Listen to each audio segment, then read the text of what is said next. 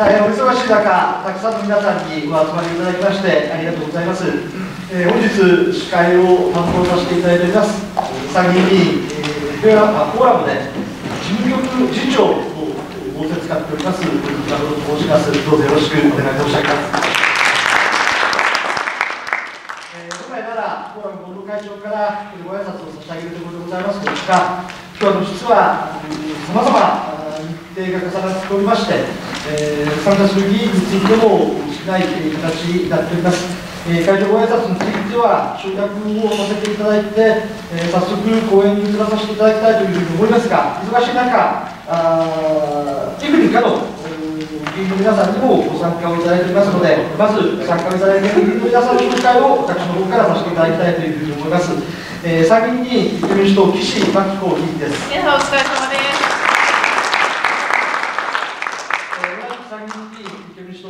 です。小賀千景議員でございます。そ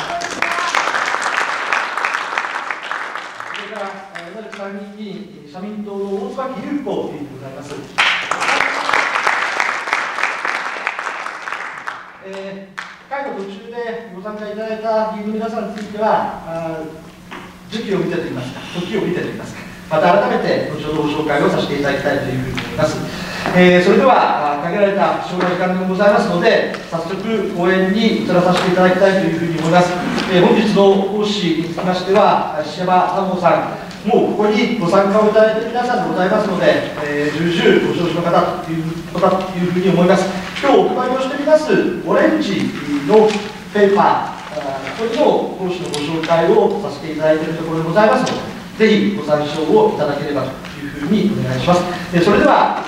応援をお願いをしたいと思います。石山さんどうぞよろしくお願い申し上げます。はい、皆さんこんにちは。こんにちは。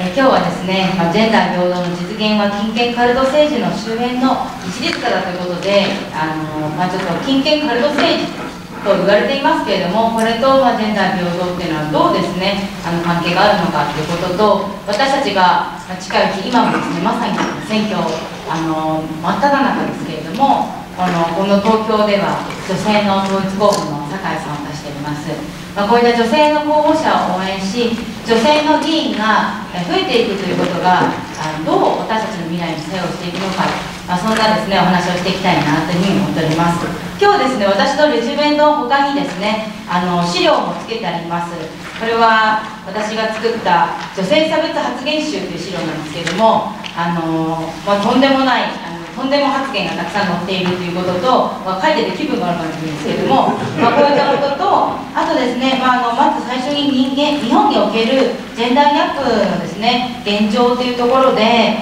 えー、一番最後の維新維新維新の維新コーナーの下のおまけってところを見ていただきたいんですけれども、まあ、ここで女性の職業の比率ですとかあの非正規雇用の女性の比率などを載っていますので、ぜひ見てみていただきたいと思います。まあ、本当に驚きますね。保育士の女性の比率っていうのは95.8%、ほとんどが女性なんです。かくいう私も保育士なんですけれども、こんなんですね。で私も保育士課程で教員免許を持っていますけれども、まあ、そういった中で保育士課程で一緒に学んできた仲間たちはほとんどがやっぱり女性女の子たちばっかりでした。だからですかねやはり賃金ものすごく低いわけです。保育士に新卒で大の大学4年生のですね4年生大学を卒業して入ったとしても手取り16万円15万円そういった世界なんですね。ほとんどがやっぱ結婚したら辞めていく子本当に多いです。で子育てが落ち着いたらいった非正規雇用で保育園に戻ってくる。まあ、そういったですねあの形で保育園っていうのがですね回っているということなんです。やっぱり女がやる仕事には、まあ、このぐらいの給料でいいだろうっていうような一応国家資格ですからね保育士っていうのは。それにもかかわらず命を預かるこれだけ大事なあの仕事にですね賃金もものすごく低いケアワークもそうですねあの介護労働者そういったところで働いている女性男性たちは現場からどんどんですね、あの事務やですね中間管理職になっていくんです。私は12年間障害者施設で働いてきたんですけれどもやはり現場でずっと残っていくのは、えー、女性たち。えそしてですねこの現場から23年もしたらですねすぐあの事務所にこもってですねいろんな事務作業をしたり中間管理職になってですねあの講演をしたりそういったところに行くのは男性たちっていう本当に不思議だなって私あの若い時から思っていましたけれどもそういった要請の状態です。でまた婚姻後にあの名字を変える女性の割合も95%です。ほとんどですよね、まあ、こういうところを見てもですね日本におけるですねジェンダーギャップ指数っていうのは本当にあの低いほぼ最下位っていうような状況になっています。皆さん今年の国際女性デーの、えー、飛び込んできたニュースは覚えていますか？国際女性デーに真っ先に飛び込んできたニュース、えー、1つ目は、えー、働き女性の働きやすさ。29カ国中日本は27位というニュース。そしてもう一つビッグニュースが飛び込んできましたね。これを国際女性デーの日にぶち上げるかと思ったんですけれども自民党の青年局の女性ダンサーのセクハラ問題、まあ、これが国際女性デーの日に上がってきたんです。あれをなぜかですね女性ダンサー問題って言ってるんですけれども 女性ダンサーの問題じゃないんですよねあれ自民党青年局の問題であってダンサーの問題では全くないにもかかわらず女性ダンサー問題って言ってくるわけですよ。これは他のことにもよくあの共通するなと思っていて不倫問題とかねそういったこともすぐ女性問題って言ってくるわけですね。それは男性の問題なんじゃないのって思いますけれどもなぜか女性問題ということで、まあ、女にですねいろんなことを、ね、なすりつけてですね、えー、行こうというところがすごく言葉のところでも見え隠れするなというふうに思っております。またですねあのー、まあ、こういった中でですね日本のジェンダーギャップっていうのは本当にまだまだなところになります、えー、この総がかり行動実行委員会もですねあの今回共同代表私に、あのー、なったんですけれども1人がそれまではやっぱ全員男性でした。で今他の2人も男性ですし今女性1人という形になってるんですけれども本当に今からここから、えちょっとずつ日本っていうのは変わっていかなければならない、まあ、そういった変化のあの過程にあるんじゃないかなというふうに思っております。さてあの時間もないのでどんどん進んでいこうと思います。私はですね最近市民連合でフェミブリッジというのに取り組んでるんですね。市民連合のフェミブリッジ。どういう言葉かというとフェミニストとブリッジ、え、っていうのを掛け合わせた造語なんです。女の架け橋っていう意味なんですね。女の架け橋で政治に興味がない政治に関心持ってる暇がないそういった人たちに架け橋をつないで選挙に行ってもらおう。私たちと同じあの目的で社会を良くしていこうってことに立ち上がってもらおう。そういった意味を込めてですねフェミブリッジっていうのをですねあの今やっています、まあ、このフェミブリッジの、えー、スローガンの一つでもあります。自民でも維新でもない私たちの選択肢。これあの一つのスローガンにしてるんですね。どういうことかというとやはりですねなんか自民がダメならですねじゃあ維新かなみたいな。こう維新がエセ改革派としてですねこうなんかこう改革するぜみたいな感じの醸し出してるので自民党への不満がですね維新の方に行ってしまわないか。そういったことを危惧してですねこういったスローガンを立てました。私はですねこの自民でも維新でもない私たちの選択肢っていうのを、まあ、真っ先に出すとしたらですね何があるかといったら命と暮らしが守られる政治とジェンダー平等の実現。これは維新や自民絶対できないことだなというふうに思っております。またこのレジュメにも書いてありますけれども今裏金の問題追及をしています。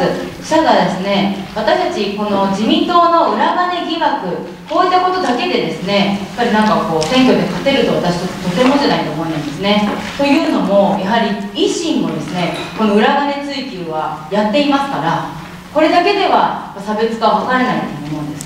じゃどういうところでしっかりと差別化を図っていくかといったらやはりこのジェンダー平等ですとかあともう一つは憲法問題ですよね、え、そして軍国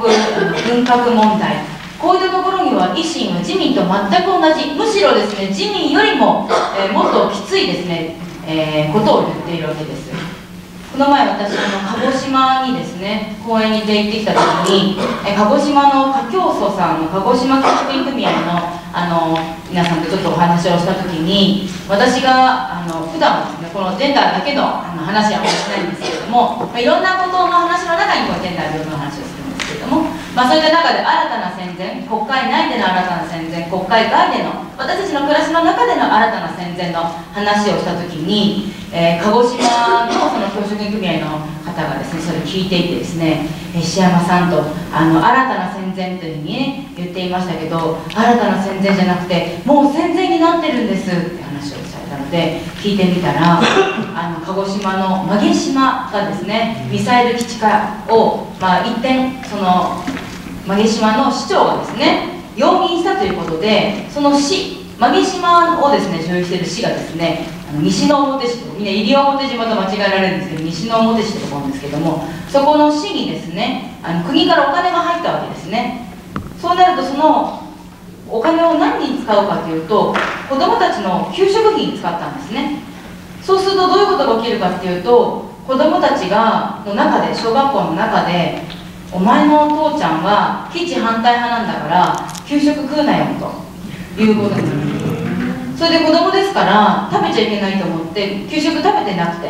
で先生が「えなんで食べてないの?」って聞いたらお父ちゃんがあの基地反対派だから食べちゃいけないって言われたんだけどって言われてそこでやっぱ発覚したんですね。こうやってやっぱり新たな戦前というか、まあ、戦前ですよね。こうやって住民がですね分断されていくようなまあ、そういう状態に、えー、置かれて今いるわけですね。私たちはあの日本の中でも東の方なのでこの南西諸島や九州の皆さんのこのあの分断や焦りや危機感というものがなかなか私たちのところに届いてきませんけれどもやっぱり今こう九州南西諸島そういったところはまさに安保3文書の実現化に向けてですね着々と住民たちが困っているというそういった状態に置かれています。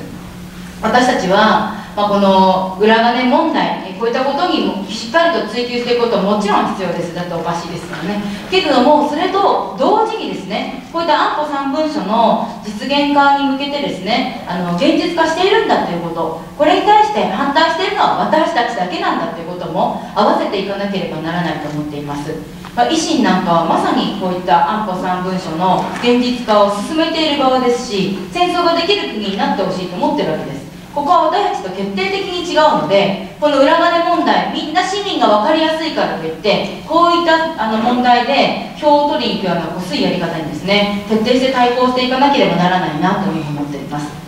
そしてもう一つ先ほど言った、まあ、ジェンダー平等の実現はあのちょっと今日命と暮らしを守る政治っていうのはあの置いておきますけれどもジェンダー平等が実現される社会ですけれども、あ、これは本当ですね、まあ、維新も自民もできないなっていう思うんですね。今日のこの女性差別発言集見ていただいてもお分かりのようにどうしてこういうことが言えるのかなってことの天候を得たわけですね。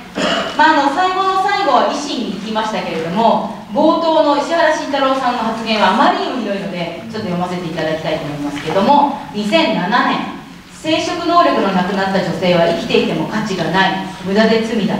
文明がもたらした最も悪しき有害なものはババアというんですね。これババア発言といって裁判にもなりましたけれども全く失礼なじじいだなって思いますが、まあ、こういうですねことを平気で言う人がたくさん政治家にいる柳沢さんなんか産む機会とかですね、まあ、あのパッとみんなが自民党の差別発言と思い浮かべるとポンポンポンと出てきますよね。空で言えるぐらい。そのぐらいやっぱひどいことっていうのはずっとですね今も続いているわけです私あの自民党の女性局自民党の青年局がですね女性男性のセクハラあれもですね全然こう謝罪になってない会見をしてましたよね。今の時点では触ってませんとか今の時点の記憶では触ってないとかなんだそれと思いますけれどもこうやってるあの反省していない。ということはですね長年これはですねやってたことなんだろうなと思うんですね。去年の11月に起きたことがどうして3月に吹き上がるのか、まあ、自民党は金でしかつながれない政党ですからあの金が切れたんじゃないかなって私は思ってるんですけれども、まあ、こういったことがちょこちょこ出てくるってことはもっともっと根深くあるんじゃないかなって思います。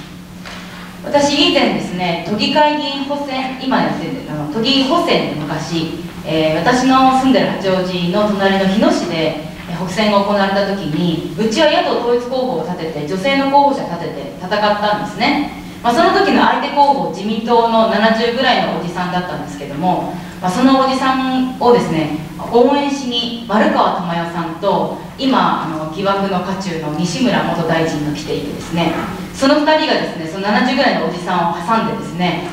こういう演説をしていたんですね。丸川珠代さんが大絶叫しながらどうか〇〇候補を男にしてやってくださいって言うんですよ。その70ぐらいのおじさんもですねどうか皆さん皆さんのお力で私を男にしてやってくださいって言ってですねこの男になるかならないかの話ずっとしててですね政策の話なんか全然してないんですものすごい失礼じゃないですかこれ男になるっていうことイコールなんかこう一人前になるみたいな感じじゃないですか。じゃあ私たちがねじゃあその統一候補に来ていた私たちの女性の候補者もね皆さんのお力で女にしてやってくださいなんて絶対はないですしこういうことを平気で言ってしまうのがやっぱ自民党なんですね。他にも2018年で MeToo 運動が日本でもものすごく盛り上がった時伊藤詩織さんのこととかそういったことで MeToo 運動フラワーでもこういったものが広まってきた時実はですね自民党もですねこの女性運動に乗っかろうとしたんですね。2018年自民党の女性局はあの街頭選挙をやるんだと言ってですね、まあ、自民党お金持ちですから街頭選挙にやると決めたらですね車1台作れるんですよ。車1台作ったんです。女性局の凱旋用の車をガラス張りの綺麗な車をですね。この車の最初のお披露目会このお披露目会の時にその車に一番最初に乗車した人は誰だと思いますか？二階さんだったんですね。なんであんたが乗ってんだっていうことなんですけども、まあ、同じようにですねみんななんであんたが乗ってんだってことをたくさん批判されてですね、まあ、自民党女性局の街頭宣伝これにて終了ということでですね終わってしまったんですけれども批判の中で。彼らはですねあの彼女たちはですねやっぱりこう男性の二階さんのお許しがない限り街頭宣伝一つもできないっていうことですよね。ものすごいわきまえていなければあのなんか自由にやることができない。そういう政党なんだなってことがもうつくづくですねあの私思いました。他にもですね、まあ、自民党はたくさんありますけれどもあのまあこの多分治りません彼らは。ダメですね。森喜朗さんとか麻生太郎さんとか見てみてもねお分かりのように多分死んでも治らないんだろうなって私は思いますけれども自分が悪いと思ってないからなんですよね。この発言集の中にも森喜朗さんのあたくさん書いてあるんですけれどもあの女性のねこうなんていうかわきまえの発言のことを言うとですねあの本当のことを言うと怒られるんですね本当に全く反省していないんですけれども、まあ、こういうことを言ってしまうほど自分は悪くないと思っているわけです、まあ、そういったところで差別はなくなるはずはありませんからあの彼らはなくならないんだろうなって思っております。そして日本維新の会ですけれどもこれも全く同じですね。これもあの例えば今は維新の会じゃありませんけれども橋本徹さんは、えー、米軍基地の周辺で米兵による女性の性的暴行が性暴力があの発生するのは米軍がもっとね風俗を活用しないからだと。風俗を活用すれば性暴力がなくなるんだってことを言った許せない。本当に許せない発言だと思いますけれどもこうやって女のことをですね飾りか性欲処理器しか持ってないんですよ。これがもうまさに維新まあ、そういうとこ出てきてるなっていうふうに思っております。まあ、私はこのジェンダー平等がですねもう一つジェンダー平等が実現される社会には本当に戦争っていうのはないんだと思うんですね。やはり戦争っていうのは最大の暴力ですからあのジェンダー平等が息づく社会には戦争はないっていうふうに考えています。例えばですね親学親学日本会議のあの教育バージョンですね。あの親学の高橋史郎さんっていうですね明星大学の教授ですけれどもも本当に嫌なんですけど私明星大学出身なんです。よ。そこの教育学部出てるんですね。なんで高橋史郎さんのゼミがいかに人気があってのを見てきたんですけれども私は保育士課程だったので高橋史郎は敵だったんですがやっぱりあの教育課程では高橋史郎っていうのはですね彼のゼミに入るとあの教員採用試験受かりやすいとかですねそういういろんなですね巷の噂が流れて行列ができるぐらいですね彼のゼミっていうのはものすごくたんです。まあ、彼のとんでもない話は後にしますけれども、まあ、彼のこの高橋史郎さんもですね、まあ、結婚までは純潔を守ろうと婚前埋性交渉という否定してるんですね。こういう純潔教育を一本でかなり言っているんです。でもこの純潔教育っていうのはアメリカ共和国の新保守主義とものすごく似ている。この新保守主義の筋力主義教育とものすごく重なるなっていうふうに私は思っていて、まあ、この新保守主義っていうのはですね福祉よりも軍事だと。また道徳を重視するような政策。まさに反ジェンダーなわけですね。私はこういった福祉よりも軍事なんだ、まあ、そういったところと反ジェンダーって一体になっている。反ジェンダーイコールですね戦争政策なんだ。一体のものだと思っておりましてやっぱりジェンダー平等を実現させるってことと私たちが会見を反対してもう戦争のない国にしていこう。戦争できる国づくり反対って言ってることはもう一体のものとしてですね戦っていかなければならないなっていうふうに思って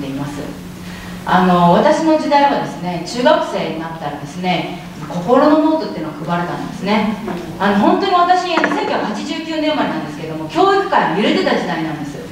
ゆとり教育第二次世代なんで私の場合はもう土曜日は学校なかったですし3.14で練習率計算しないで3で勉強してましたし台形の面積も求められなかったですし、まあ、こういった中で育ってきたんですけどそこからぐーっとですね管理主義のですねあの社会になっていくんですね。こういった中で心のノートっていうのが配られてもう私はこの心のノートが配られる頃にはもうすでに私はあの市民運動家として活躍していましたから13歳の時から市民運動やってるのでこの心のノートが配られた時子供ながらに大事な資料だと思いましたね。こう一番最後のページにですねドカンとですねこうなんていうか富士山があってですね日が昇っててですねそこにこう郷土を愛する心みたいなことが書いてあるわけですね。この国を愛しこの国に生きると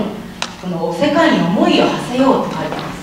す。それまでの間に何が書いてあるかという家族はこう大事ですよ。家族はこうでこうなきゃいけませんよ。助け合わなきゃいけませんよ。ざっくりこう教育直後的なものなんですね。うわーって書いてあるわけですね。で最後にオールカラーですよ。すごい金かけたんだと思うんですけども、まあ、こういったところ最初は家族愛から始まってその後は共共同愛。その後はこう愛国心。国際貢献と、まあ、こうやってですねあの子どもたちの心の教育をしていく図式。そういう中で軍事費を増やしてですね米軍基地の強化を図って、まあ、憲法を変えて戦争する国づくりを目指し男らしく強い男性を育ててですねまあ、そういった戦争する国づくりにつなげようとしているんじゃないかな、まあ、こう考えると本当に反ジェンダーの動きっていうのは恐ろしいなっていうふうに思います。さて、まあ、今自民党とかの意思の話をしましたけれどもじゃあ私たちはどうなのかって話なわけですね。そういうことを言っていろいろ批判している私たちの中でもジェンダー平等は実現されているんでしょうかという話なんですがどうでしょう皆さん。我々は大丈夫。100%いけるって思いますかね。私はまだまだだと思うんですよ。全然まだまだだと思うんですね。総上がり行動実行委員会も本当ね今までひどかったんですよ。急にですねなんかねあの携帯に電話かかってきて何だと思って取ったらですね大変だ石山さんと。記者会見の男ばっかりだと。今すぐ来てくれと。石山直子としてじゃなくて女として来いってこと。なんです女要員1としてですね来いってことなんですね。そと思いながら行くんですけれどもでもまあ行くとですねよかったよ真っ黒になるとこだったよみたいな。ああ飾りのねこういった花があってよかった。平気で言われるわけですね。でも飾りじゃないんだと思いましたけれどもまあこういうことがですね。やっぱりあの言い返せなかったっていうそこからだんだんとやっぱり言い返せるようになってきたのは私たちちょっとずつ進歩してきてるなというふうに思うんですね。まあ、あの今日ここの会場にいらっしゃらなくて残念ですけどね。あの藤本さんなんかは名指ししちゃいますけども石山さんは総係のアイドルだからって言ったことがあるんですね、まあ、こうやって私は相当怒りましたけれども、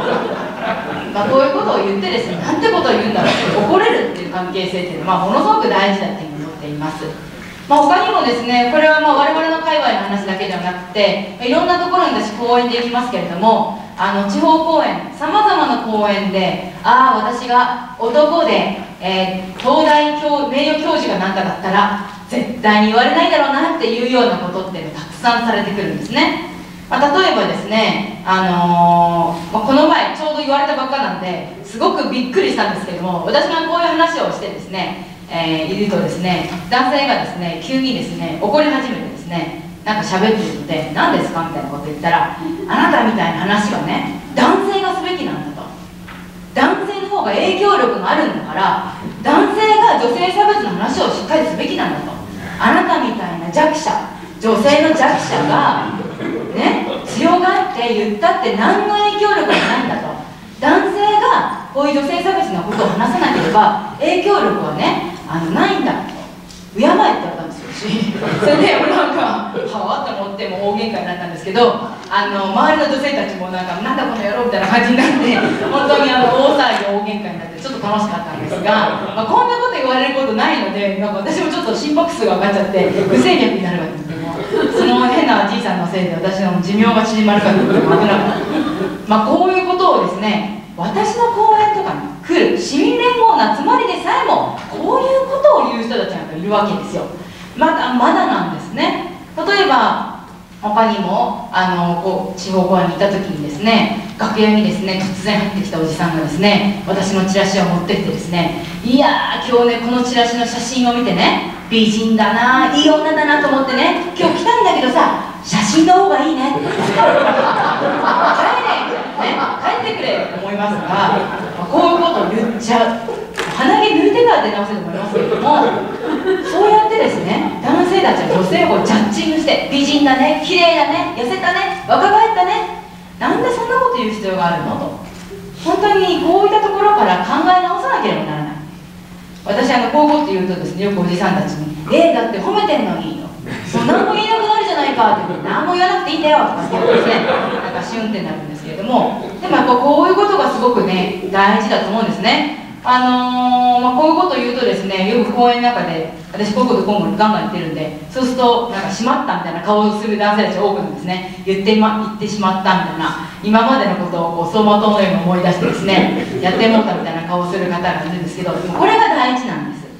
まあ、でも先ほども繰り返しますけど森喜朗さんとか二階さんとか麻生さんとか見てみてください。反省なんかしませんからね。何が悪いんだってふんぞり返ってるわけですよ。差別に向き合えない証拠なんです。私たちのはまだ差別に向き合い始めてきてる今。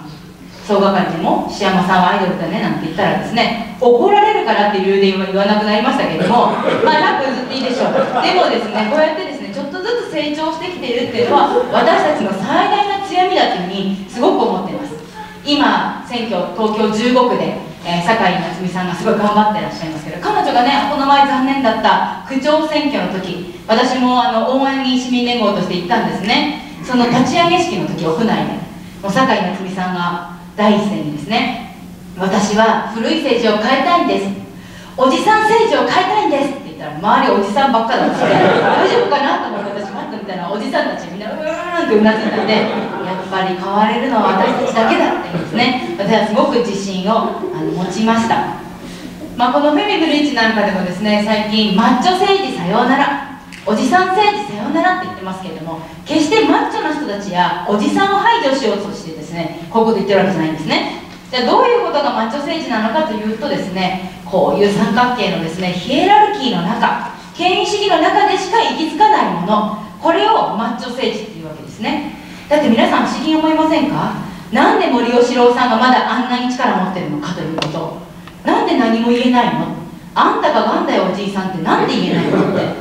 言えないんですよ。三角の中でしか息づいていないからあの上に逆らってはならないっていうのを思ってるんですね。やっぱこうやって権力の方向を向きながら自分の立ち位置を決めていくようではやっぱり根本的な社会搾取っていうのは搾取社会っていうのは私は変わらないっていうのこれはもう私たちの運動の中に言えることであってやっぱり権力の方向を向きながら自分の立ち位置を持っていくようではやっぱりダメだなっていうふうに思っています。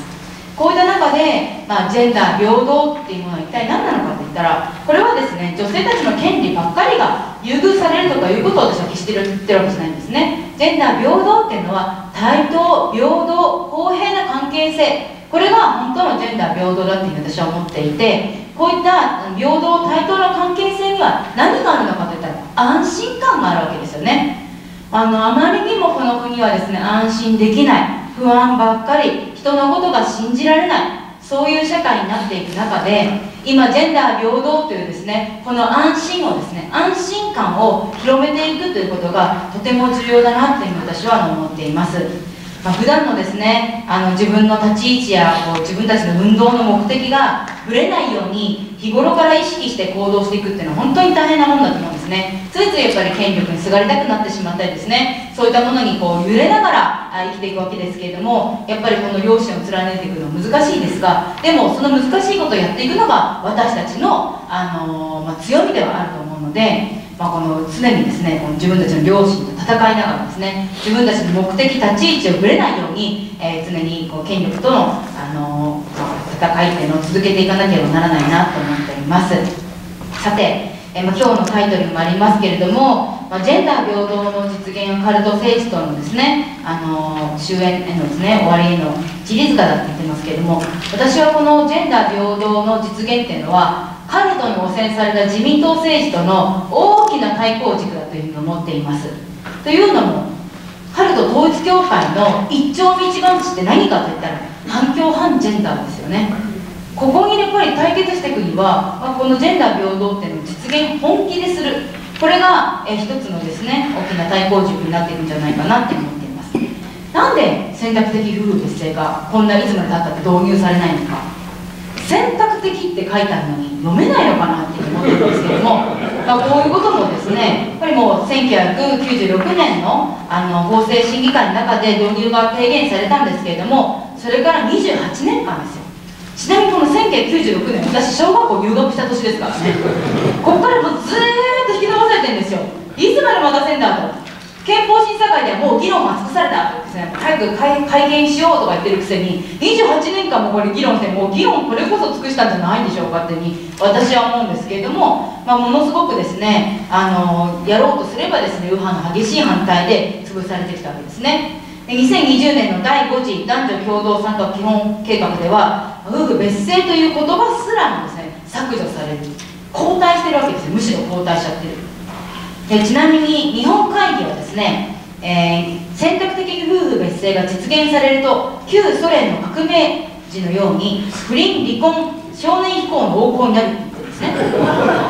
そして統一教会の勝共連合は何て言ってるかというと選択的夫婦別姓は文化共産主義であり家族は敵と考え家族を壊そうとしているってこれ完全妄想だと思うんですけど。まあでもこの日本会議と統一教会の言ってることってまさに一致してるわけですよ。だから彼らの、まあ、利害一致なわけです。こういった偏ったおかしな家族観とそして反共主義。この2点で彼らは一致団結して、えー、やっているわけですね。あのー、杉田水脈さんの今日のこの女性差別発言集の中につけましたけども杉田水脈さんがですね産経新聞かなんかでですね書いてあったんですけれども保育園バッシングですこれは。この保育園はですね洗脳教育をする場だと。旧ソ連が共産主義の中で取り組み失敗したモデル20モデルを21世紀の日本で実践しようとしているんだと言ってですね保育園で、まあ、その旧ソ連の洗脳教育をやるところなんだと。で保育園なんか預けたら大変なことになるんだってことを、まあ、杉田美穂さん言ってるわけですね。で先ほど私と私の大学の教授であった高橋史郎さんもですね彼も同じことを言ってるわけです。私あの保育士の家庭を学んでる時にまあ、その先生とかですねいつも高橋氏を許さんと言ってですね怒っていたんですけれども彼の授業の中では保育園は悪だということを言うんですね。3歳まで親元で育てないと子供子供発達障害になるんだと。そういうことを平気で授業で教えているんです。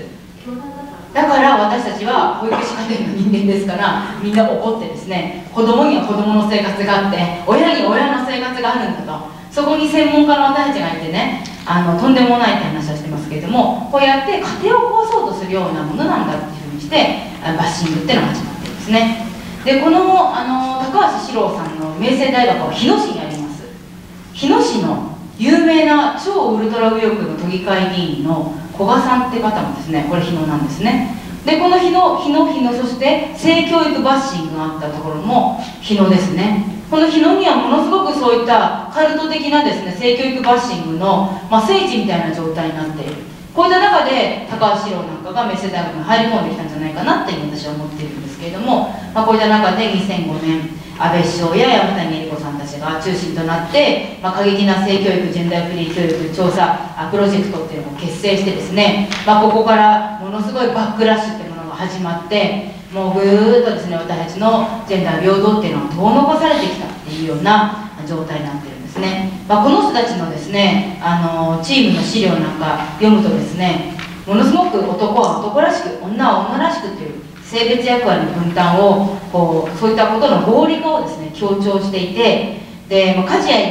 育児が女性の役割なのはもう大前提だと。で個の尊重も行き過ぎた個人主義と批判しているわけですね、まあ、こうやって個個としてですね人々を扱わないで家族という単位ですね扱うっていう、まあ、これは戦争だった時ものすごい楽ですからね。個で扱われるよりも家族という人単位の区切りでいてもらった方が何かこうあの全体主義的なことをやるときにはものすごく管理しやすいからだからこういったことを言ってるんじゃないかなっていうふうに思っております。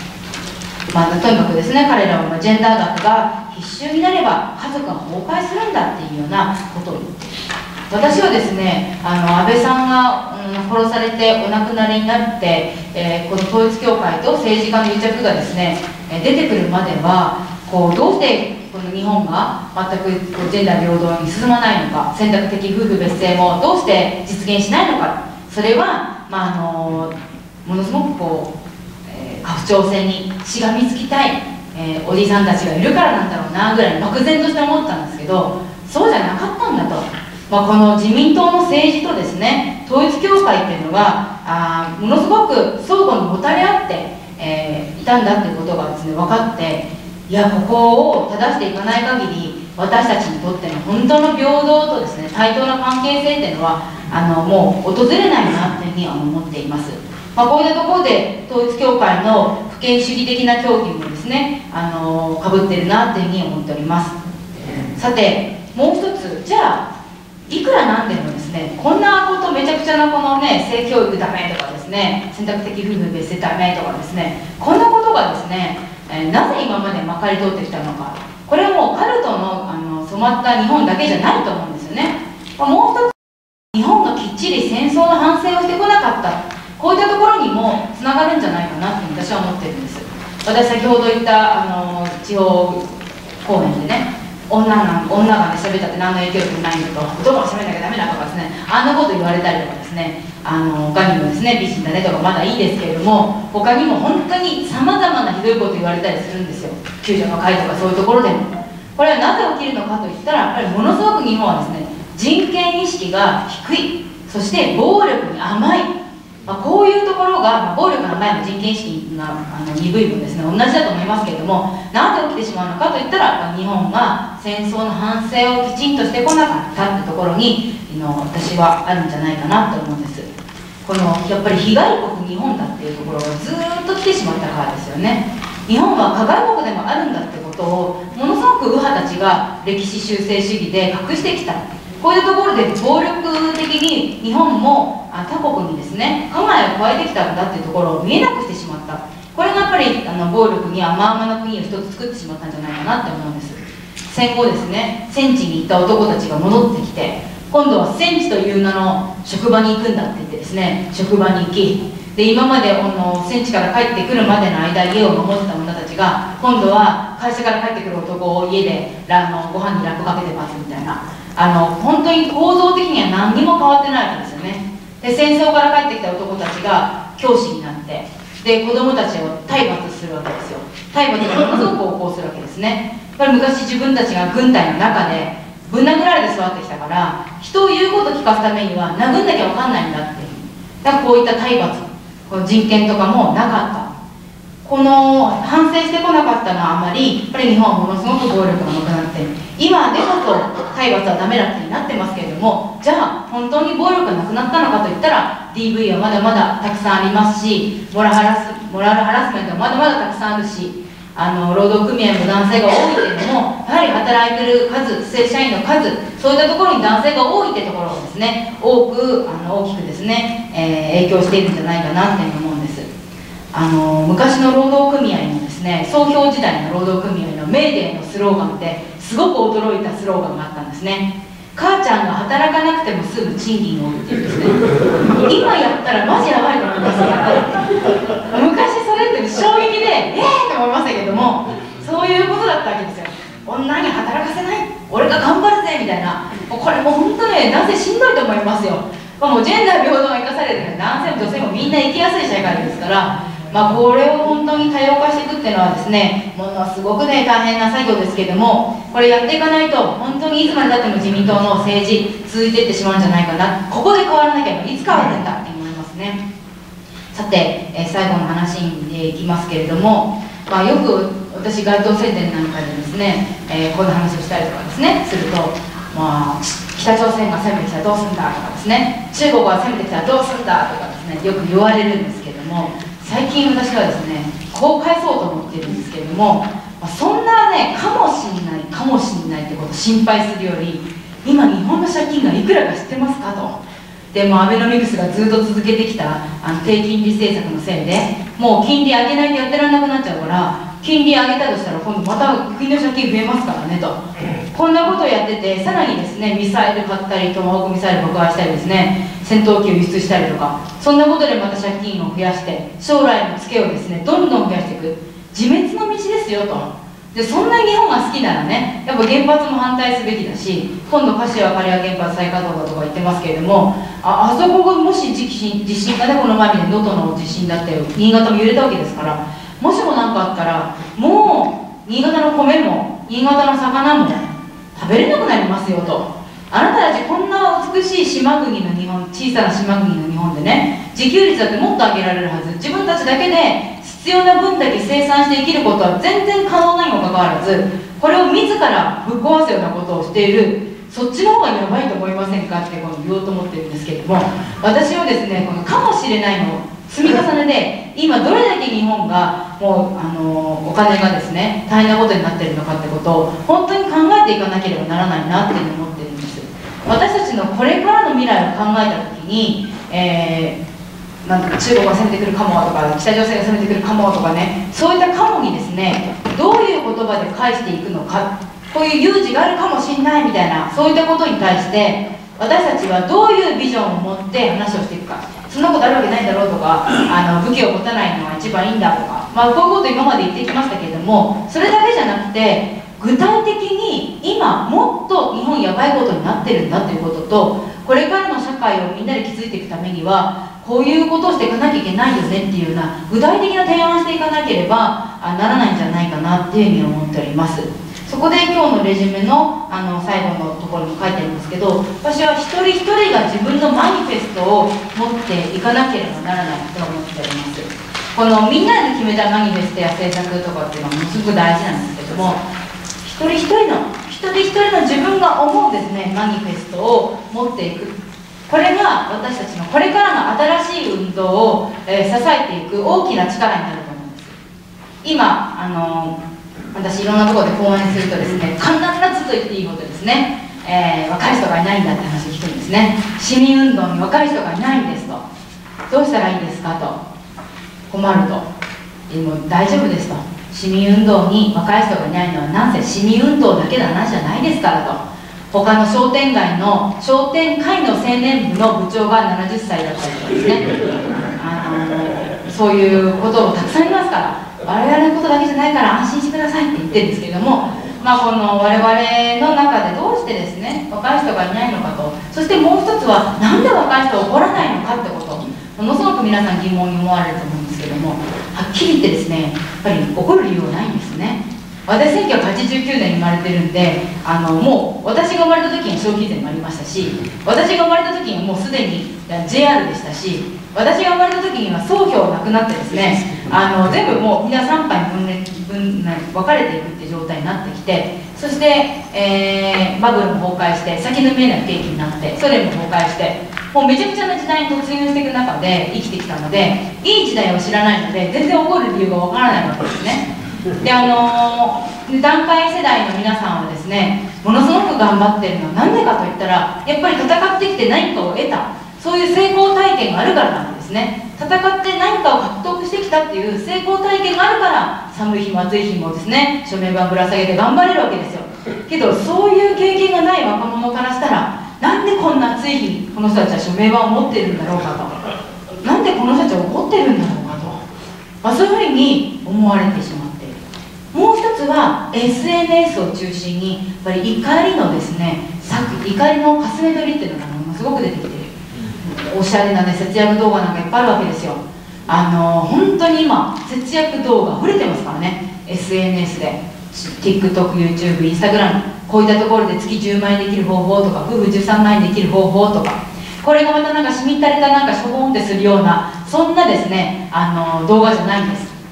明るくて前向きになるようなそういう動画なんですね。そういうの見るとですね賃金も上がらないのにこんなね物価高で許せないふざけるなみたいな気持ちがなんかスーって消えていくわけですよ。いや今日デモとかじゃなくてお家帰って豆苗を切って水にさらしてもう一回育ててみようかなみたいなそんな気持ちになってくるんですね。もうそうやってですね戦わせないようにですねいっぱい仕掛けがあるわけですよ。他にも転職サイトなんかもそうですよ。テレビ番組でもしょっちゅう転職サイトの CM 出てくるじゃないですか。あれは労働組合潰しのものすごく一端となってるんですけれどももうこの片手でなんかこうでエレベーター待つ間に「俺この会社合わねえな」とか言って指一本で言って会社からしたらいいいいですよね。指一本で自分の会社にキングアナやつが消えてくれるんですから。でやっぱりこの労働者はですねその指一本で消えずですねその会社にとどまって戦って賃金上げろ待遇改善しろそういったことを戦って勝ち取っていくってことはつまり次に入ってくる労働者にとっても財産になるわけですよ。でも職場で戦うってしんどいじゃないですか。お前何してくれてんだとか余計なことすんなとか言われて。だから本人も労働者も指一本で消えられたら楽なわけですよね。こうやって労働組合潰しとそして労働者の横の分断っていうのが始まっていくまあ、こうやってですね若い人たちはですねおごらないようなあのそういう仕組みシステムがあちらこちらにある。こういった中で私たちが立ち上がれとかですねあのなんか一緒に声上げようとか言っても響かないわけですよね。えやだみたいになっちゃうわけですよ、まあ、こういうところにじゃあどうやって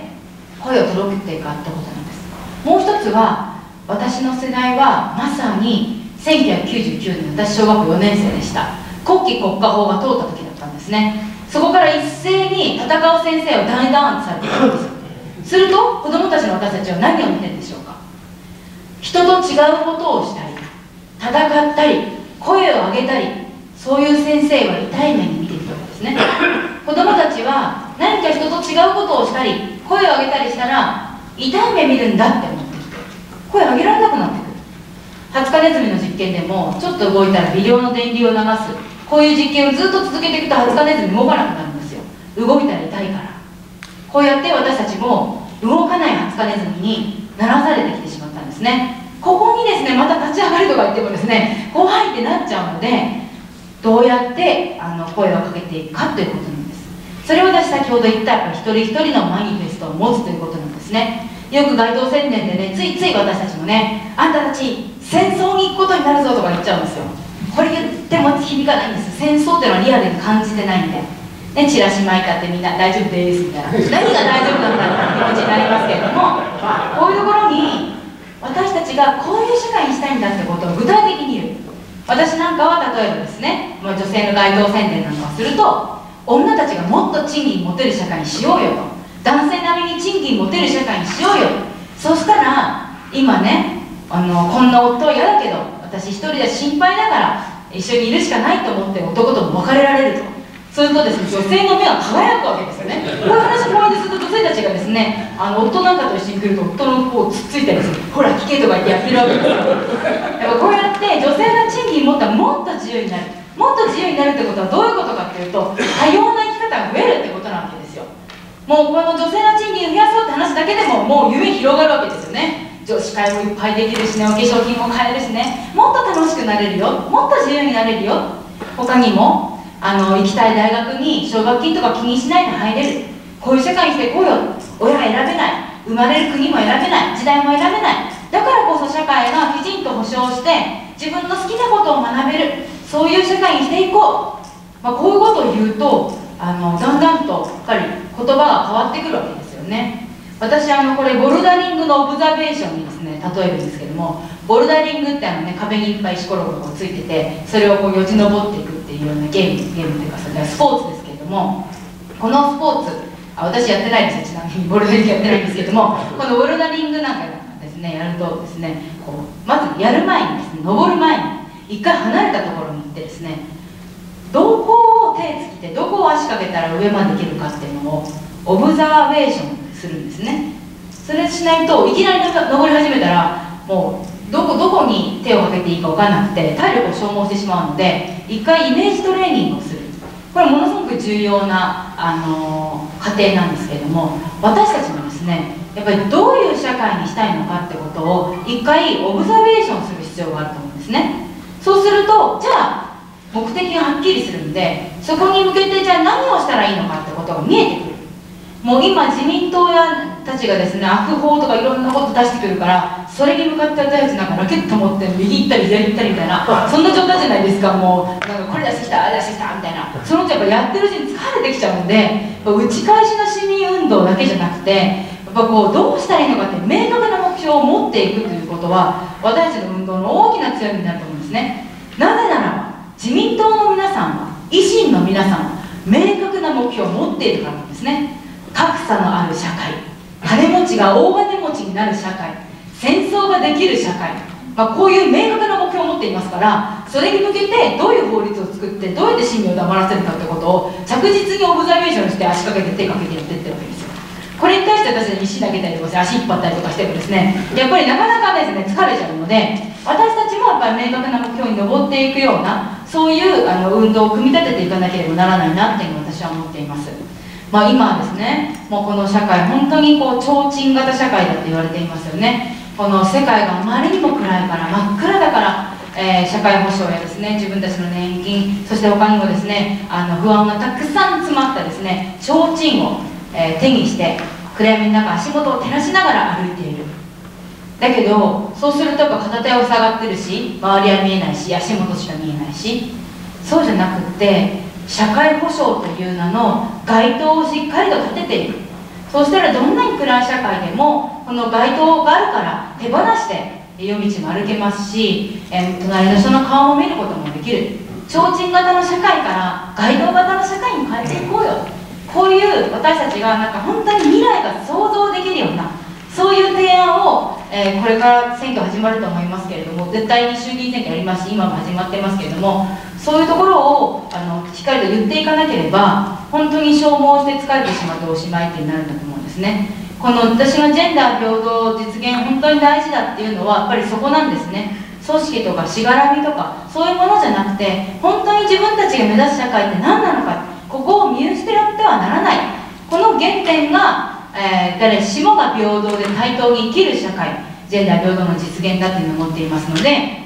まあ、この私たちがこれからやんなければならないということは一人一人が目がこう話した人の目が輝くようなですねそういうマニフェストを持って街頭に出たりと自分の隣の人に話しかけたりすることが必要だと思うんです。大きな声で、え言うんじゃなくてささやき型の民主主義、えそういったあの隣の人に声が聞こえるようなあそういうなんか自分の半径直径じゃなくて半径から変えていくようなえそういったところに転換が必要なんじゃないかなというふうに思っております、えー、そろそろ時間が来て。しまったのであの終わりたいというふうに思いますけれども、まあ、この自民党とですね、対決していくためにはですね私たちは、こういったあのものすごく分かりやすい言葉だけじゃなくて自分たち一人一人がこんな社会にしたいっていうようなものを持っていくことがものすごく重要だと思っていますのでこれからの街頭宣伝そういったところにですねぜひあの今日の話をですね生かしていただきたいなって思うのとあと今日ですね私のこのレジュメの最後にですね私のプロフィールとそしてあの QR コードがついてるんですけどこれ私のメールマガジンなんです。ね。ぜひよかったらメールマガジン読んでいただいてこれは私が日々感じたこととかこう思ったってことを結構生で配信しているので毎週金曜日に配信してるんですけどもちょっと見ていただいて、まあ、この運動のちょっとヒントになってくれたらなって思っております。とにかく私たちは頭を柔軟にして竹や運動でいきたいなと思っています最近こうやって言ってるんですけども、まあ、それぞれ皆さんいろんな課題で戦ってると思うんですね。それぞれのことで。の地震が来たら竹やぶに逃げろとか言うじゃないですか。っていうのは竹やぶは地盤が強いから揺れに強いから。これなんでかというと土の下にですね竹やぶの根がですねこう絡み合ってるからなんですね。私たちもいろんな運動いろんなそれぞれの場所で戦っていますけれどもそれぞれの竹があるいろんなしがらみいろんなとがある。だけれども何かあった時にはここに来たら安心だよっていうようなそれそのためにあのここに来たら安心だよ。なぜならその下に私たちは見えないけれども土の中でしっかりということをつながり合ってるから何かあったらここに来なよ。そんな居場所になれるように皆さんと竹やぶのようにですねしっかりと絡みついて頑張っていきたいなというふうに思っております。ありがとうございます。頑張りましょ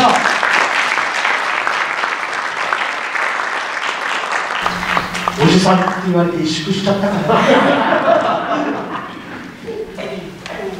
ら よろしい内容中身につきましてぜひまた持ち帰りをいただきながらそれぞれの地域や場所からあこの公園の中身を生かしていただくような議論や運動や取り組みを隣の人と一緒になって始めていっていただければというふうに思います。えー、っと講演中に、えー、議員の方、ご参加をいただきました方、紹介をさせていただきたいと思います。えー、もうすでに出られておりますけれども、参議院議員、国民民主党の羽賀吉也議員にご参加をいただきました。あそれから社民党の福島みずほ参議院議員、まだいらっしゃいますけども、またしっかりとそしたらですね、この後の集会の関係も含めまして、ここで戦争させない選任委員会よりご報告をいただきたいと思います。田中直樹フォーラム副事務局長、よろしくお願いいたします。えっと、本日の集会にお集まりいただきまして、大変ありがとうございます。戦争させない選任委員会の田中と申します。えっと、今日はあの岸山さん、本当に講演どうもありがとうございました。あの我々もどちらかというと、男中心のあの固い組織中心にやってきているものでありますから、まあ、やはりいろいろ刺激になりましたあのオブザーベーションとかですね竹やぶの話とか、まあ、まさに市民運動あのそういうところが強みだと思います。あの私たちもそういうものをまた学びながらあの今後も頑張ってまいりたいと思います。それではあの私の方から今後の行動について若干の提起をさせていただきたいと思います。えっとあのまあ、今日19日行動ありますので、あの都合のつく方、えー、またそちらの方にも出ていただきたいと思うんですが、えー、まず最初に申し上げたいのは5月3日の、えー、憲法大集会です、え昨年と同じく有明の防災公園で、え開催をいたします、えーと、メインの集会は1時からでパレードの出発が1時45分というふうになっております、え昨年は、ま、2万5000人の方にお集まりいただきました。え今年はこういった状況を踏まえてさらにそれを超える決心を目指して頑張ってまいりたいというふうに思っておりますのでぜひ皆さんも、え、お知り合いお誘い合わせの上よろしくお願いしたいと思います。でまたこの集会の宣伝イベントとして4月29日に新宿東南口であの、まあ、凱旋行動を行いますのでそちらの方ももしあの暇でしたら覗いていただければというふうに思います。それから来週の、月曜日になりますが、新宿の、東南口新宿駅の東南口で、定例の凱旋行動を行います、それから、えー、と岸山さんたちが中心になって行っていますウィメンズアクションということがこれも毎月ありまして4月はあの先日も終わったんですけれども5月は16日に6時から有楽町の糸島前で行っておりますのでこれもちろんイメンズアクションといってもあの女性だけじゃなくて男性もあの参加できますのでよければそちらの方にもお願いしたいと思います。それから5月の14日になるんですが、えーと、地方自治法改正案の問題点、まあ、今地方自治法が、えー、改正されて、まあ、国の地方自治体に対するその指示といいますか、えー、強制力が強まるというそういった改正がされようとしているわけですけれども、まあ、この問題についての院内集会を5月14日の6時半からこの参議院会館の地下1階の107というところで行います。こちらの方にもぜひお越しいただければというふうに思います。で、えー、と最後にえ申し上げたいのはやはり4月28日の衆議院の補欠選挙です、まあ、来たるべき総選挙に向けて腐りきった自公政権を退場させ立憲野党が躍進するための最初の一歩としていきたいというふうに思います。東京15区島根1区長崎3区に投票権のある方るいはそちらに友人知人のある方ぜひ全力でのご支援をお願いし圧倒的な勝利を勝ち取って政治を変える転機というふうにしていきたいというふうに思います。えそれでは私の方からのえ提起は以上とさせていただきます。共に頑張りましょう。